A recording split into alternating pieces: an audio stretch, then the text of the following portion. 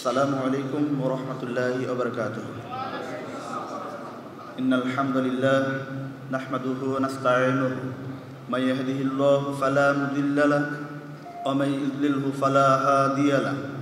وأشهد أن لا إله إلا الله وحده لا شريك له. وأشهد أن محمدا عبده ورسوله. أرسله بالحق بشيرا ونذيرا أما بعد فأعوذ بالله من الشيطان الرجيم. من قتل نفسا بغير نفس أو فسد في الأرض فكأنما قتل الناس جميعا.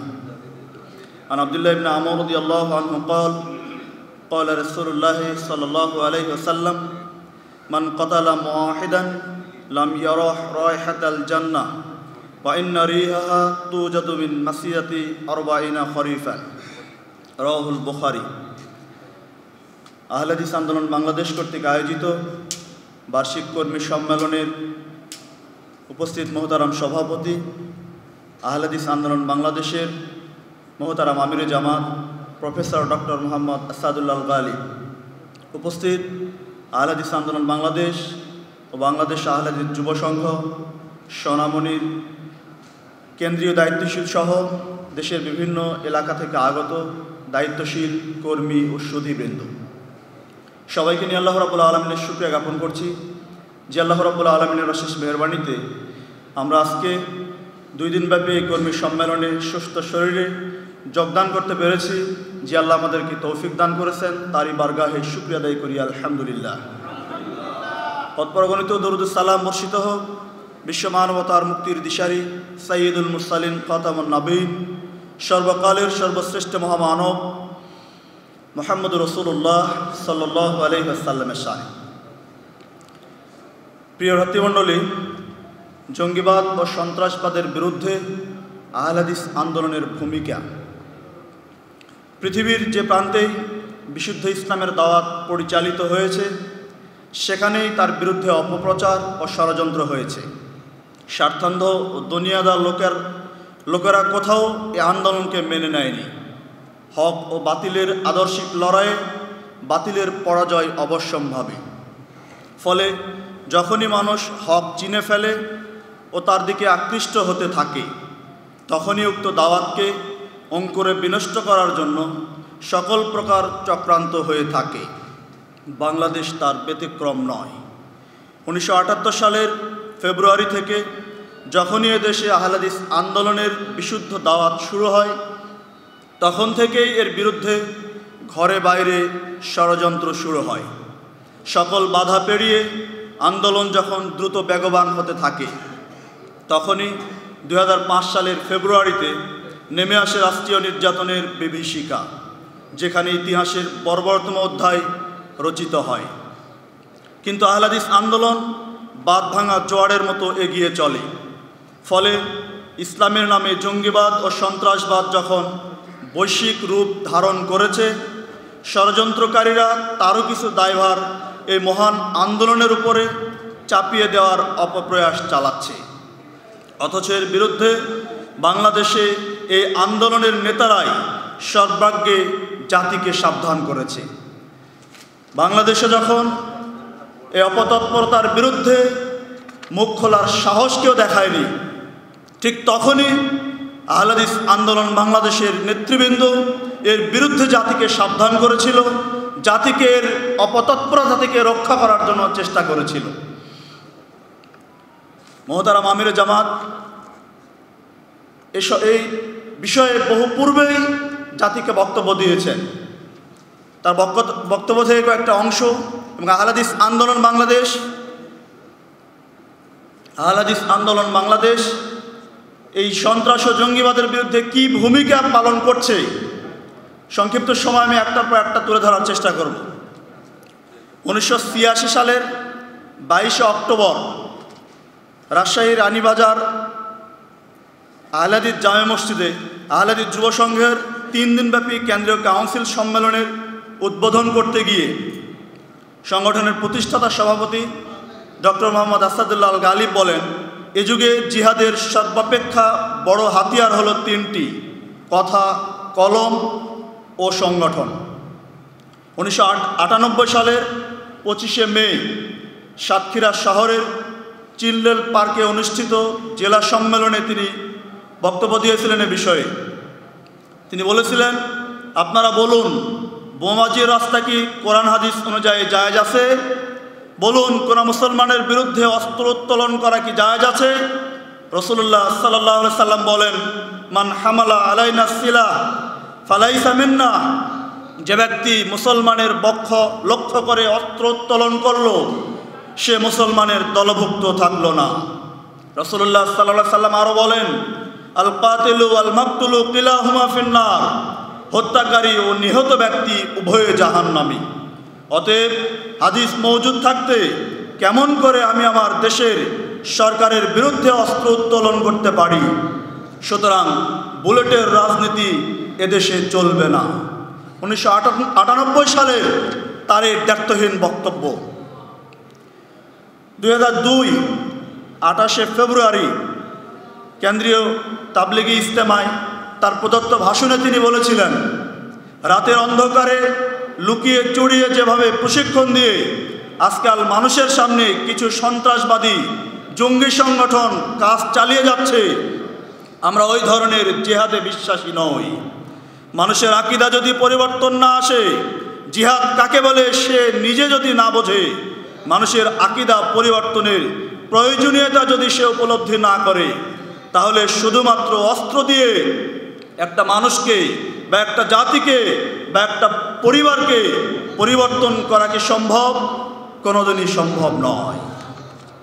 মহতারাম আমির জামাত দু হাজার চার সালের পাঁচই নভেম্বর প্রস্তাবিত ইসলামী বিশ্ববিদ্যালয় জায় মসজিদ নওদাপাড়া রাজশাহীতে প্রদত্ত জুমার খুদ্বায় বলেন, যদি কোনো মসজিদে এই ধরনের প্রতারণা, প্রতারণামূলক কাজ করতে কেউ আসে, জিহাদের নাম করে ধোকা দিতে আসে সরাসরি মসজিদ থেকে তাদেরকে বের করে দেবেন।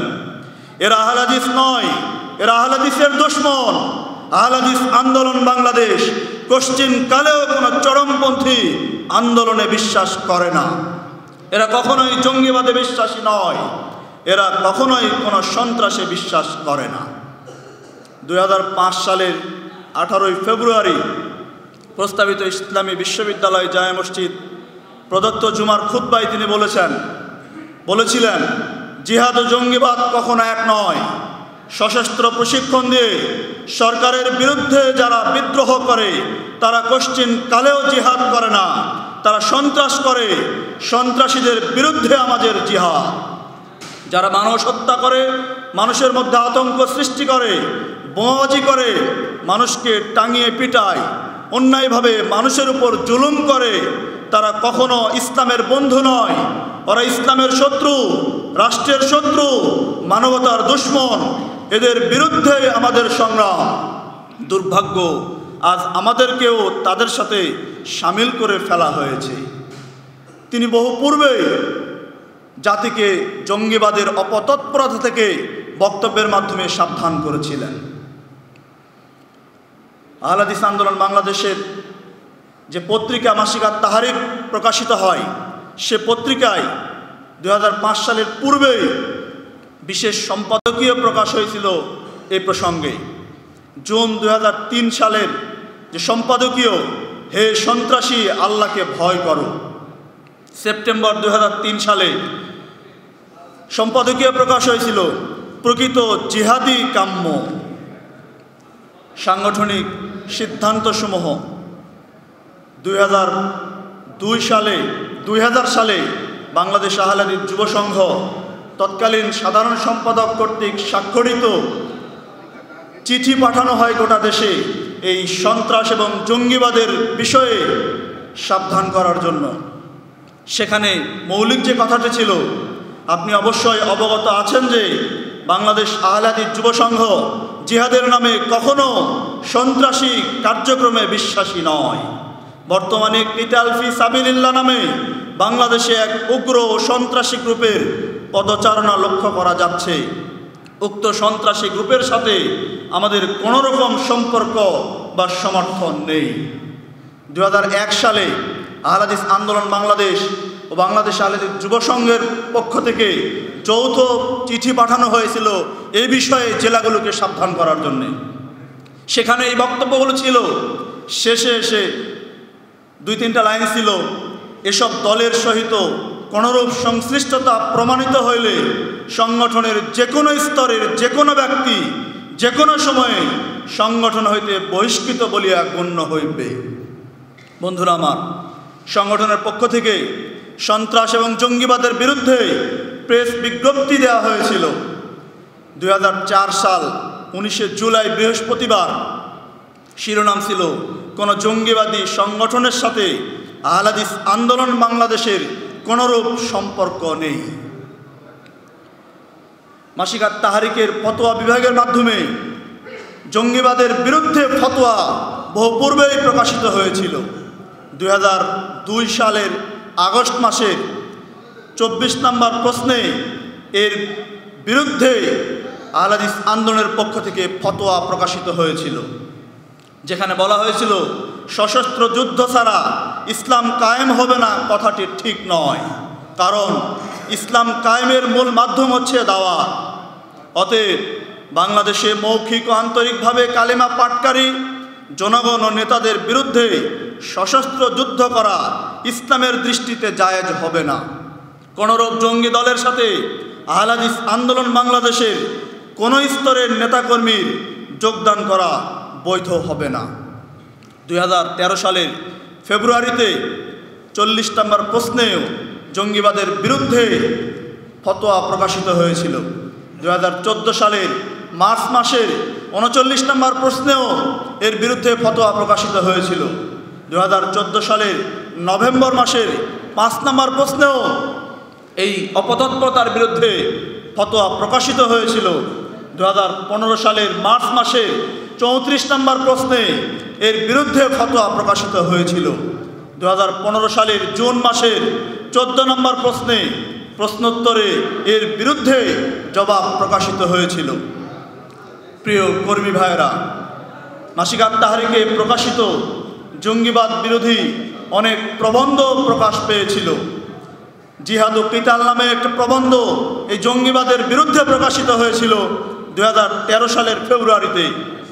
দিন কায়েমের সঠিক পদ্ধতি দু হাজার তিন সালের জুলাই মাসে প্রকাশিত হয়। পরে সেটা ইকামতের দিন পথ পদ্ধতি নামে বই আকারে প্রকাশিত হয় দু হাজার চার সালে। ইসলাম ও মুসলমানদের চিরন্তন শত্রু চরমপন্থীদের থেকে সাবধান। এ বিষয়ে প্রবন্ধ প্রকাশিত হয়েছিল দু হাজার পাঁচ সালের এপ্রিল থেকে সেপ্টেম্বর ছয় কিস্তিতে। সন্ত্রাস, ইসলামী দৃষ্টিকোণ দু হাজার ছয় সালের মার্চ মাসে প্রকাশিত হয়েছিল। এভাবে বহু প্রবন্ধ প্রকাশিত হয়েছে সন্ত্রাস এবং জঙ্গিবাদের বিরুদ্ধে। মাসিকাত তাহারিকে যে সম্পাদকীয়, সেখানেও প্রায় নয়টি সম্পাদকীয় প্রকাশ হয়েছিল এই অপতৎপরতার বিরুদ্ধে। সন্ত্রাসবাদের বিরুদ্ধে সাংবাদিক সম্মেলনের মাধ্যমে জাতিকে আহলাদিস আন্দোলন সাবধান করেছিল যে এই প্রচলিত এই জঙ্গিবাদী তৎপরতা কখনো জিহাদ নয়। জিহাদের নামে সন্ত্রাসী কার্যক্রম করছে। জাতিকে তারা সাবধান করেছিলেন। বন্ধুরা আমার, সন্ত্রাসবাদের বিরুদ্ধে টিভি টক শোতে অংশগ্রহণ করেছিলেন আহলাদিস আন্দোলন বাংলাদেশের নেতৃবৃন্দ, যেটা বাংলাদেশ সরকার কর্তৃক প্রচারিত বিটিভিতে দুই হাজার পাঁচ সালের পাঁচই ডিসেম্বর সন্ধ্যা সাতটা বিশ মিনিটে প্রচারিত হয়েছিল। এটিএন এন টিভিতে দু হাজার ছয় সালের বাইশে জানুয়ারি সেখানে আলোকপাত অনুষ্ঠানের মাধ্যমে এই সন্ত্রাস এবং জঙ্গিবাদের বিরুদ্ধে আহলাদিস আন্দোলন বাংলাদেশ তার বক্তব্য জাতির সামনে তুলে ধরেছিল। সন্ত্রাস বিরোধী প্রবন্ধ প্রতিযোগিতায় অংশগ্রহণ করে আহলাদিস যুব সংঘ সোনামণির নেতৃবৃন্দ সেখানে প্রথম স্থান, দ্বিতীয় স্থান, তৃতীয় স্থান কয়েকটা ক্যাটাগরিতে তারা বিজয়ী হয়ে সেখানে এই প্রতিযোগিতার মাধ্যমেও জাতিকে সাবধান করেছিল এই জঙ্গিবাদের বিরুদ্ধে। মাসিকাত তাহারিকের জনমত কলামের মাধ্যমেও এ বিষয়ে জাতিকে সাবধান করা হয়েছিল। জঙ্গিবাদ ও চরমপন্থার বিরুদ্ধে দেশব্যাপী বিক্ষোভ মিছিল, সমাবেশ ও মানববন্ধন হয়েছিল, যার মাধ্যমে এদেশের মানুষকে এই অপতৎপরতার বিরুদ্ধে জাগ্রত করার জন্য আহলাদিস আন্দোলন বাংলাদেশি সর্বাগ্যে এগিয়ে এসেছিল যখন এই অপতৎপরতার বিরুদ্ধে মুখ খোলার সাহস পর্যন্ত করেনি, তখনই আহলাদিস আন্দোলন বাংলাদেশ বলিষ্ঠ পদক্ষেপ নিয়েছিলেন এই জঙ্গিবাদের অপতৎপরতা থেকে এই জাতিকে সাবধান করার জন্যে। বন্ধুরা আমার, এখানে মৌলিক বিশ্বাসের কারণেই মানুষ জঙ্গিবাদের দিকে যাচ্ছে। মানুষের যে ইমান রয়েছে, এই ইমানের বিভ্রান্তির কারণেই এক শ্রেণির মানুষ জঙ্গিবাদে যাচ্ছে। আহলাদিসদের নিকট ইমানের সংজ্ঞা হচ্ছে আত্মাজদিকুবিল জিনান অল ইকরার বিল লিসান অল আমাল বিল আরকান। ইয়াজিদ বি তাতি ওয়া ইয়ানকুসু বিল আল ইমানু ওয়াল আসল ওয়াল আমালু ওয়াল ফারু হৃদয় বিশ্বাস, মুখে স্বীকৃতি ও কর্মে বাস্তবায়নের নাম হলো ইমান যা আনুগত্যে বৃদ্ধিপ্রাপ্ত হয়, গুনার কারণে হ্রাসপ্রাপ্ত হয়। ইমান হলো মূল, আমল হলো শাখা, যা না থাকলে পূর্ণ মুমিন বা ইনসানে কামেল হওয়া যায় না। এই ইমানে মৌলিকভাবে তিনটি দলের উদ্ভব হয়েছে। একটা হচ্ছে খারেজি, তাদের নিকটে তিনটি বিষয়ে ইমানের মূল, হৃদয় বিশ্বাস, মৌখিক স্বীকৃতি ও কর্মে বাস্তবায়নে তিনটা ইমানের মূল। কোনো একটি না থাকলে সে কাফের হয়ে যায়, তার চিরস্থায়ী জাহান নামে এবং তার রক্ত হালাল। এটা খারেজিদের আকিদা। পক্ষান্তরে মুরজিয়াদের বিশ্বাস হচ্ছে, হৃদয় বিশ্বাস বা মৌখিক স্বীকৃতি কোনো একটি থাকলে সে পূর্ণ মমিন। ইমানের হ্রাস বৃদ্ধি ঘটে না। আমল ইমানের অংশ নয়। যুগে যুগে শৈথিল্যবাদীরা এই মতের উপরেই বিশ্বাসী ছিল। একদিকে চরমপন্থী আকিদা, অন্যদিকে শৈথিল্যবাদী আকিদা। এই দুই আকিদার মধ্যমপন্থী আকিদা হচ্ছে আহলাদিসদের আকিদা। তাদের নিকটে অন্তরে বিশ্বাস এবং মৌখিক স্বীকৃতিটা হচ্ছে মূল, আমল হচ্ছে শাখা। যা না থাকলে সে পূর্ণ মমিন হবে না, তবে সে কাফেরও হবে না, চিরস্থায়ী জাহান্নামীও হবে না। এখানে এসেই চরমপন্থী জঙ্গিবাদী তৎপরতা ব্যক্তিদের উদ্ভব। যে ব্যক্তি কবিরা গুণা করে, সে কাফের, তাকে হত্যা করে তাদের নিকটে যায়। এই বিশ্বাস যতদিন পর্যন্ত দূরীভূত করা না যাবে, এই আকিদা যতদিন পর্যন্ত পরিবর্তন করা না যাবে, ততদিন পর্যন্ত ওসব ব্যক্তিদেরকে এই জঙ্গিপনা থেকে বিরত করা সম্ভব নয়। আহলাদিস আন্দোলন বাংলাদেশ, মানুষের এই আকিদা পরিশুদ্ধ করার আন্দোলন। আহলাদিস আন্দোলন বাংলাদেশ, মানুষের এই আকিদা পরিশুদ্ধ করে তাদেরকে পবিত্র করানো সয়াদিস অনুযায়ী পরিচালনা করার আন্দোলন। গান বাজিয়ে, ফুটবল খেলিয়ে, বাজনা বাজিয়ে, সংস্কৃতির পাঠ দিয়ে কাউকে জঙ্গিপনা থেকে বিরত করা যায় না। ভুল সিদ্ধান্ত আন্দোলন, এই আকিদা পরিশুদ্ধের মাধ্যমে এদেশের মানুষকে করে এবং সয়াদিসের প্ল্যাটফর্মে ঐক্যবদ্ধ করতে চায়। জাতি যদি জানতো এই বিষয়ে মানুষ হত্যা করা কি অপরাধ, এই বিষয়গুলো যদি জাতির সামনে তুলে ধরা যেত, কোনোদিনই তারা এই জঙ্গিপনা করতো না। দেখুন আল্লাহ আল্লাহ রব্বানি বলছেন, মান কতালা নাফসান বিগয়রি নাফসিন আও ফাসাদিন ফিল আরদি ফাকান্নামা কতালান নাসা জামিয়া। যে যে যে কেউ জীবনের বদলে জীবন অথবা জনপদে অনর্থ সৃষ্টি করা ব্যতীত কাউকে হত্যা করে, সে যেন সকল মানুষকেই হত্যা করে। সুরা মায়েদা, পাঁচ নম্বর সুরার বত্রিশ নম্বর আয়াত। এ বিষয়ে আল্লাহ রসুল বলছেন মান কতালা মুআহিদান লাম ইয়ারাহ রাইহাতাল জান্নাহ ওয়া ইন্না রিহাহা তুজাদু মিন মাসিরাতি আরবাইনা যে ব্যক্তি মুসলমান কর্তৃক নিরাপত্তার প্রতিশ্রুতিপ্রাপ্ত কোন অমুসলিমকে হত্যা করবে, সে জান্নাতের সুগন্ধ পর্যন্ত পাবে না। যদিও তার সুগন্ধ চল্লিশ বছরের দূরত্বর পথ থেকে পাওয়া যায়। সেই বুখারির তিন হাজার একশো ছেষট্টি নম্বর হাদিস, মিশকাতের তিন হাজার চারশো বান্ন নম্বর হাদিস। বন্ধুরা আমার তাই আসুন, আহলাদিস আন্দোলন বাংলাদেশ ও বাংলাদেশ আহলাদিস যুব সংঘ কোনো প্রকার চরমপন্থী, জঙ্গিবাদী তৎপরতার সাথে সম্পৃক্ত নয়। তারা এর ঘোর বিরোধী আহলাদিস আন্দোলনের বিরুদ্ধে অবস্থান নিয়েছে জাতিকে চূড়ান্ত সঠিক পথে ফিরে আনার জন্য সর্বপ্রথম এবং বলিষ্ঠ পদক্ষেপ আহলাদিস আন্দোলনে নিয়েছে। আল্লাহ রব্বুল আলমিন আহলাদিস আন্দোলনের এই তৎপরতাকে যেন কবুল করে নেয়, সকলে বলুন, আমিন।